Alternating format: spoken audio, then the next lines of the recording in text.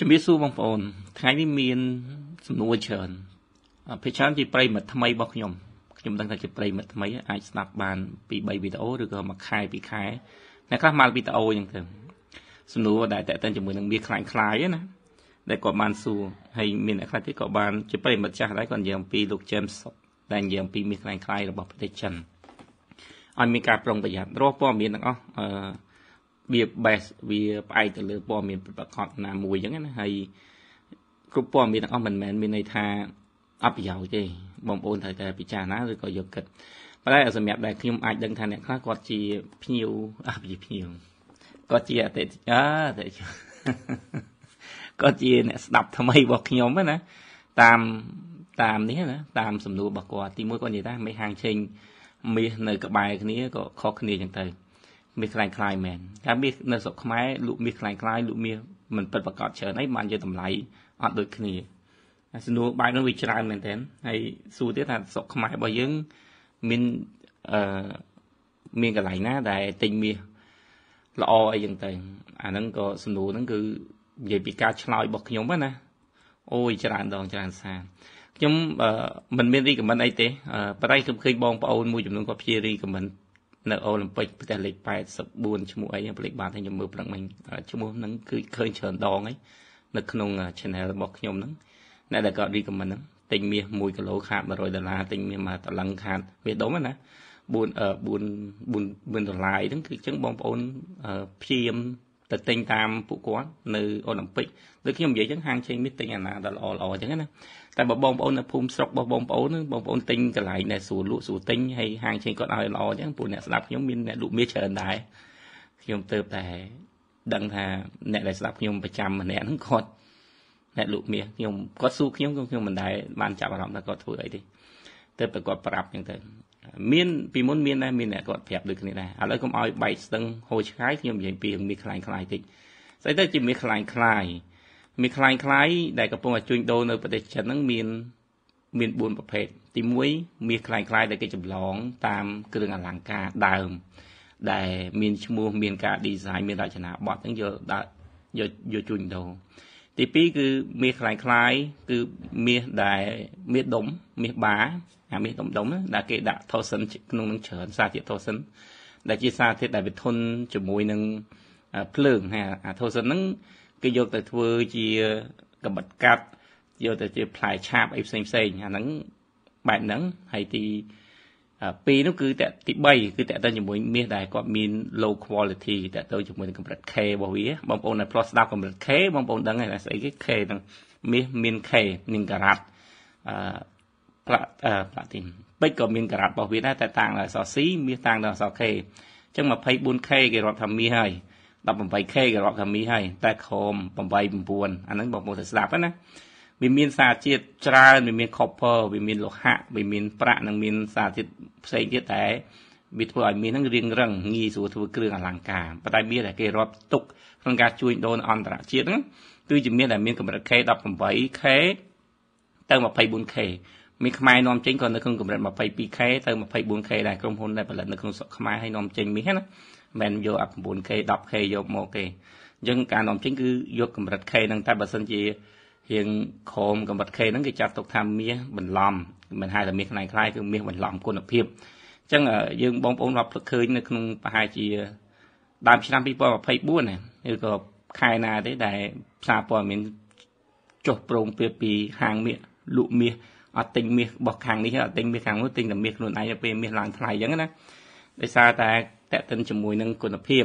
គុណភាពរបស់មាសណាបងប្អូនតេតិនជាមួយនឹងកម្រិត K របស់មាសអញ្ចឹងអ្នកលក់មាសគាត់ចំណេញទៅតាមទឹកហ្នឹងដែរហើយគាត់ចំណេញទៅលើក្បាលជញ្ជីងបូកលេខដកលេខហ្នឹងអញ្ចឹងបើសិនជា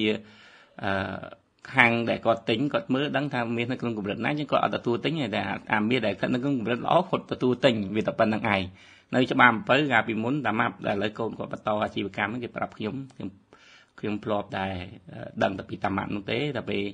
ឥឡូវកូនគាត់កាន់ហ្នឹងក៏ខ្ញុំមិនដឹងដែរតែទឹកទឹកមាសរបស់តាម៉ាប់ផ្លាទីនរបស់តាម៉ាប់យកទៅលក់នៅណាក៏បើផ្លាទីនមិននិយាយវាវាទៅតាមមាត់ណាប៉ុន្តែបើនិយាយពីកម្រិតកម្រិតគុណភាពរបស់គាត់គឺអត់ប្របាក់លក់ទេអញ្ចឹងអាហ្នឹងទី2អាទី3គឺមាសស្រោបមាសស្រោបហ្នឹងដែលយើងឃើញនៅក្នុងចិនគេធ្វើណាប៉ុន្តែអាហ្នឹងអ្នកដែលគេលក់នៅចិនក្នុងវីដេអូរបស់ចិនហ្នឹងគេធ្វើហ្នឹងគឺគេមានកម្រាស់មាសរបស់គេលក់ហើយប៉ុន្តែអាការលក់ដូរមាសស្រោបហ្នឹងគឺការលក់បោកបន្លាស់ឬក៏ ភ័ន្តបន្លំតាមហាងមួយមួយទេបើសិនជាអារូបភាពដែលបងប្អូនឃើញគេធ្វើយកដុំសំណយកដុំអីមកស្រោបមាសតាមគូក្បាច់ចម្លាក់ហ្នឹងអាហ្នឹងគឺជាកន្លែងគេទទួលធ្វើដើម្បីឲ្យអ្នកពាក់គាត់អាចប្រើប្រាស់បានធំអញ្ចឹងឥឡូវបងប្អូនដឹងពីមាសខ្លាំងខ្លាយណាដឹងពីមាសខ្លាំងខ្លាយហើយអញ្ចឹងអាដឹងពីមាសខ្លាំងខ្លាយហ្នឹងក៏បងប្អូនអាចឆ្លើយតបនៅសំណួរបងប្អូនថាមិនមាននៅកន្លែងផ្សេងលក់ខុសគ្នាដូចខ្ញុំជម្រាបបងប្អូនជារឿយរឿយតាមទឹកតាមប្រភេទមាស តាមហាងតាមសេវាកម្មដែលគាត់យកចំណេញអញ្ចឹងណាព្រោះវាមានបូកលេខដកលេខតាមទឹកមាសវាមានប្រហែល K មាន9មាន12មាន18មាន22មាន24ចឹងគឺអាចយកលក់ 24K ដែលខ្ញុំប្រកាសរាល់ថ្ងៃតម្លៃហាងឆេងមកលក់ឲ្យតម្លៃ18ក៏18កុំឲ្យលក់22ដែរអញ្ចឹងបងប្អូនត្រូវដឹងរឿងនឹងមួយណាហ្នឹងគឺតាមទឹកតាមកម្រិតតាម K តាមប្រភេទមាសទៀតមាសស្វីសមាសវៀតណាមមាសខ្មែរអញ្ចឹងផ្សេងគ្នាទោះបីតូបហ្នឹងម្ចាស់តែមួយក៏ដោយក៏លក់ តម្លៃផ្សេងគ្នាដែរក្នុងប្រភេទមាសរបស់គាត់ហ្នឹងមិនចាំបាច់បដលតូបជាប់គ្នាទេអញ្ចឹងសង្ឃឹមតែយល់ហ្នឹងរឿងមាសខ្លាំងខ្លាយតមកទៀតតើតើមួយចិនចិនគឺជាប្រទេសដែលផលិតមាសខ្លាំងខ្លាយច្រើនជាងគេសួរថាចិនផលិតមាសខ្លាំងខ្លាយហ្នឹងតើប្រទេសណារងគ្រោះច្រើនជាងគេចិននឹងឯងចិនដែលផលិតប្រទេសមាសខ្លាំងខ្លាយហ្នឹងការនាំរថពន្ធចិនរថពន្ធមាសខ្លាំងខ្លាយចេញពីបណ្ដាប្រទេសផ្សេងផ្សេង តើតើទំហំធំបានគេរត់ពីព្រោះគេចាយលុយចាយសហុយในការរត់ពន្ធហ្នឹងច្រើនណាស់ជាមួយនឹងភាពងងឹតនៃរដ្ឋាភិបាលនីមួយៗអញ្ចឹងដែលផលិតមាសច្រើនជាងគេហើយលក់បោកប្រាស់បន្លំច្រើនជាងគេនៅចិនហើយព័ត៌មានចិនក៏ចុះផ្ទុះខ្លាំងណាស់ដែរបន្តមកទៀតគឺប្រទេសណាគឺឥណ្ឌាឥណ្ឌាដែលជាប់ព្រំដែនជាមួយនឹងចិនងាយស្រួលក្នុងការទិញដូរជួញដូររត់យកមាសខ្លាំងខ្លាំងហើយមួយទៀតហាងឆេងនៅឥណ្ឌាហាងមាសនៅឥណ្ឌាហាងនៅឥណ្ឌានីមួយនីមួយហ្នឹងការលក់ មានការកិច្ចពន្ធច្រើនហើយការលក់ទៅឲ្យអ្នកប្រើប្រាស់ហ្នឹងក៏មិនមានការពិនិត្យពិច័យទៅលើគុណភាពមាសដែរហើយជាពិសេសហ្នឹងគឺតម្រូវការនៅឥណ្ឌាហ្នឹងវាធំសម្បើមជាប្រទេសដែលប្រើប្រាស់គ្រឿងអលង្ការធ្ងន់ធ្ងរអញ្ចឹងបន្ទាប់ពីចិនគឺឥណ្ឌាបន្ទាប់ពីឥណ្ឌាហើយគឺប្រទេសគេទៀតគឺអាហ្វ្រិកាសានអាហ្វ្រិកសានអាហ្វ្រិកដែលជាប្រទេសដែលចិនក៏ដាក់ទីដៅឈរណាហើយជាប្រទេសដែលពុករលួយ បច្ចុប្បន្នមហាពុករលួយបច្ចុប្បន្ននឹងមានដូចជានីហ្សេយ៉ាកេនយ៉ាសានអាហ្វ្រិកាជាកន្លែងដែលនាំចូលមាសនាំចូលមាសបោកប្រាស់នាំចូលមាសបន្លំរបស់ចិននឹងឯងអញ្ចឹងវាស្រួលអញ្ចឹងដូចខ្ញុំនិយាយណាការនាំចូលទៅប្រទេសមួយទៅប្រទេសមួយមិនមែនគេចេះតែនាំឲ្យចូលទេពីព្រោះរដ្ឋាភិបាលគេការពារផលប្រយោជន៍របស់គេដែរហើយការនាំចូលគេមើលទំហំដែរបើនាំចូលបានតិចតិចលក់តិចតិចតែតតិចតគេជិលនាំចូលបើចូលតែជាប់គុកឲ្យជាប់គុកឲ្យធំណាស់ហ្មងទៅ អាហ្នឹងគឺបែបហ្នឹងហើយបន្តមកទៀតចិនក៏បានចូលទៅក្នុងប្រទេសធំធំដែរតែពីច្រើនក៏មានការបង្ក្រាបដែរប្រទេសទី3គេហៅថាពួកប្រចាំពពាដែលមាន United Arab ដែលយើងឃើញប្រើប្រាស់មាសខ្លាំងខ្លាំងណាស់នៅឌូបៃនៅអីហ្នឹងទីផ្សារលក់មាសច្រើនប៉ុន្តែកម្ររួចណាស់អាចូលទៅដល់ប្រទេសទាំងអស់ហ្នឹងណាដែលចិនអ្នកឈ្មួញចិនធ្លាប់សាកល្បងគឺកម្ររត់រួចណាស់នៅឌូបៃហ្នឹង ហើយការលក់ឌូបៃហ្នឹងវាមានតាំងពី certificate ដែលកាត់បញ្ជាក់ពីតម្លៃមាសរបស់គេហ្នឹងទទួលដល់ខុសត្រូវដោយរដ្ឋាភិបាលឲ្យបើកហាងមាសហាងអីហ្នឹងគឺមិនមែនបើកសុំតែភូមិឃុំសង្កាត់ទេរត់ទៅដល់ថ្នាក់លើហ្នឹងប្រទេសហ្នឹងក៏ជាទិសដៅរបស់ចិនដែរក្នុងការបញ្ចេញតាមរយៈគ្រឿងអលង្ការហៅថាទីផ្សារខ្មៅឬក៏អីមួយចំនួនតែការប្រកាសក៏វាធ្ងន់ធ្ងរដែរបន្តមកប្រទេសនៅក្នុងតំបន់អាស៊ាន អាស៊ានរបស់យើងឬក៏អាស៊ីអាគ្នេយ៍របស់យើងប្រទេសដែលជាទិសដៅធំបំផុតវៀតណាមជាប់ព្រំដែនចិនវៀតណាមជាប់ព្រំដែនចិនពីនោះហើយថៃហ្វីលីពីនហ្នឹងហើយគឺជាប្រទេស3ដែលរងគ្រោះហើយមានការជួញដូរហើយយើងឃើញអ្នកដែលប្រក្រាបបានជាងគេថៃនិងវៀតណាមហើយថ្មីថ្មីកាលពីខែពីពីមុនចូលឆ្នាំចិនណានៅដើមឆ្នាំ2024ហ្នឹងក៏មានការចាប់ដែរហើយការលក់បញ្ចូលទៅវៀតណាមនិងថៃនេះគឺតាមរយៈមាសអនឡាញតាមរយៈ តូបឈ្មួញមួយចំនួន ដែលលក់តាមតូបតាមផ្សារតាមផ្ទះដែលគាត់មិនមានការសុំច្បាប់ត្រឹមត្រូវហើយគាត់លក់មាសថោកថោកហើយយើងឃើញចុងក្រោយនេះនៅថៃនេះអ្នកស្រីអីដែលជាស្អីគេខ្ញុំមិនដឹងដែរគេហៅថា influencer ឬក៏មេមេមេតំណាងចែកចាយម្ចាស់ផលិតផល brand មាសដែលគាត់លក់នេះហ្នឹងហើយគឺមាសខ្លាំងខ្លាយដែលគេលក់នឹងឯងលក់ថោកថោកមិនមានការចោះ ឈ្មោះត្រឹមត្រូវមិនមានការទទួលស្គាល់ពីរដ្ឋមិនមានការពិនិត្យតែអីហ្នឹងគឺគឺបណ្ដាប្រទេសហ្នឹងហើយដែលជាប្រទេសដែលរងគ្រោះហ្នឹងដែលយើងអាចរាប់ទៅបានហើយមាសទៅផ្ស៊ីផ្សារទាំងអស់បងប្អូនទៅតាមទីផ្សារទាំងអស់ទី1តាមលក្ខណៈទី1គឺ e-commerce platform ណាការលក់ដូរតាម platform តាម e-commerce អឺ ដែលឈ្មួញទៅចរិតហ្នឹងគាត់ទៅបើកលក់នៅប្រទេសហ្នឹងតែម្ដងហើយមានការដឹងជូននៅទី2គឺតេតិនជាមួយនឹងការបន្លំគុណភាពអាបន្លំគុណភាពដូចខ្ញុំនិយាយមិញណាយកមាសមកមាសយកមាស2ដល់ 10k យកមកប្រាប់គេថា8 10k 20k 22k អានោះហើយក៏គេហៅថាមាសខ្លាញ់ខ្លាយដែរចាមាសខ្លាញ់ខ្លាយផ្ទុះនៅចិនគឺការបន្លំ k ច្រើនជាងតែទៅជាមួយនឹងអាការមាសបាដែលគេសោកចូលហ្នឹងអាហ្នឹងគឺការជួញដូរធំធំ ប៉ុន្តែបើតាមគ្រឿងអលង្ការតាមអីផ្សេងផ្សេងនៅក្នុងស្រុកខ្មែរយើងទិញតូចតូចអីទេឬក៏នៅថៃទេគឺភាគច្រើនគឺបន្លំខេហ្នឹងគេហៅថាមានខ្លាំងខ្លាយកាលណាបន្លំខេគុណភាពរបស់វាក៏ទៅតាមនឹងដែរអាហ្នឹងហើយទីពីរតើទៅជាមួយនឹងទីផ្សារទីផ្សារការជួញដូរឆៅឆៅទីផ្សាររត់ពន្ធចូលមកយកលក់តែម្ដងដូចចិនចាប់បានមាសរត់ពន្ធពីខ្មែរទៅណាដែលអត់មានបង់ពន្ធណាមិនមិនមិនមាសខ្មែរអន់ទេមិនមាសខ្មែរអន់ទេ គឺមាសខ្មែរមិនបានបង់ពន្ធដែលចូលទៅក្នុងចិនហ្នឹងហើយទី2គឺតើតើជាមួយនឹងកម្រិតគុណភាពដែលគាត់យកចូលទៅក្នុងចិនហ្នឹងគឺមិនត្រូវតាមស្តង់ដារមិនន័យថាគាត់យកកម្រិតគុណភាពនេះយកទៅដាក់លក់នៅក្នុងកម្រិតគុណភាពដែលបន្លំខេខ្ញុំនិយាយមិញហ្នឹងហ្នឹងហើយគេហៅថាមាសខ្លាយខ្លាយយើងមាសខ្លាយខ្លាយមិនកំណត់ថាអឺមាសដែលអឺទាំងអស់ដែលមានដាក់ដែកបញ្ចូលមានបន្លំអីបញ្ចូលគឺសំបីតែកម្រិតគុណភាពហ្នឹងក៏ដូចគ្នាដែរ តមកទៀតទៅនៅក្នុងស្រុកខ្មែររបស់យើងសួរថានៅក្នុងស្រុកខ្មែររបស់យើងដែលលើព័ត៌មានបង្ក្រាបមាសខ្លាញ់ខ្លាយបានទេមកដល់ស្មើនេះមិនទាន់មាន ការព័ត៌មានមួយណាផ្សាយចេញថាប្រទេសខ្មែរមានការនាំចូលមានខ្លាញ់ខ្លាយទេតែបើសិនជាសួរថាតើមានអត់ខ្ញុំប្រាប់ថាមានមានគឺតាមរយៈកម្រិត K ដែលបងប្អូនទិញក្នុងឯងតោះនេះបងប្អូនគឺកម្រិត K ដែលបងប្អូនទិញអញ្ចឹងពេលដែលបងប្អូនទិញហើយសួរថាហើយមិនក៏ហ៊ាននិយាយអញ្ចឹង ច្បាស់តើបងប្អូនពេលបងប្អូនទិញពីហាងនេះបងប្អូនយកទៅលក់ទៅហាងនោះសួរតែគេទិញទេអាការលើកមុនហ្នឹងអានោះឯងដែលគេហៅថាមានខ្លាញ់ខ្លាយដែលបងប្អូនឃើញអញ្ចឹងការដើម្បីការពារហានិភ័យនៃការទិញដូរភាគច្រើននៅក្នុងស្រុកខ្មែរគេពឹងផ្អែកទៅលើកេតនាមរបស់ហាងនោះគាត់រស់ស៊ីយូរឆ្នាំទេគាត់ធំទេអាហ្នឹងពិបាកទៀតឃើញហាងឆេងមានកន្លែងខ្លះធំអញ្ចឹងនៅថៃអីមានហើយបណ្ដៃគឺនិយាយអំពីកេតនាមរបស់គាត់រស់ស៊ីតវងតតកូលការលក់ការទិញហាងឆេងរបស់គាត់ហ្នឹងគឺបងប្អូនត្រូវតែ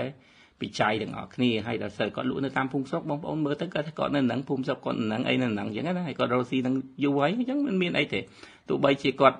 បន្លំគុណភាពបងប្អូនទិញហាងតាមហាងឆេងទៅចរចាឲ្យទៅបានត្រូវទៅបានហើយមានថាលក់ដូរហាងឆេងទៅត្រូវហ្នឹងមានឡើងគឺវាឡើងទៅតាមហ្នឹងតាមអ្វីដែលហាងឆេងគាត់កំណត់បែបហ្នឹងបងប្អូនអាហ្នឹងគេហៅថាមាសខ្លាយខ្លាយដែលឃើញមាននៅក្នុងស្រុកខ្មែរតែបង្ក្រាបអាមាសខ្លាយខ្លាយដែលបន្លំដាក់សារជាតិថូសិនចូលទៅក្នុង ដុំមាសធំធំគេហៅថាមាសបាឬក៏មាសដែលស្រោបតាមរយៈនេះធំធំគឺអត់មានទេអត់មានទេនៅក្នុងស្រុកខ្មែរហ្នឹងហើយការនាំចូលនៅក្នុងស្រុកខ្មែររបស់យើងមានក្រុមហ៊ុនត្រឹមត្រូវហើយក្រុមហ៊ុនដែលនាំចូលនៅក្នុងស្រុកខ្មែរយើងមានដាំងពីក្រុមហ៊ុនវៀតណាមក្រុមហ៊ុនថៃក្រុមហ៊ុនបរទេសក្រុមហ៊ុន Swiss ហើយខ្មែរយើងផងដែរក្នុងការនាំចូលអ្នកដែលនាំចូលនៅក្នុងស្រុកខ្មែររបស់យើងអាចជាធនាគារ